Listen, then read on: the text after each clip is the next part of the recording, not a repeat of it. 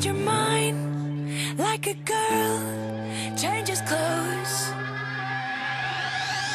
Cause you're hot.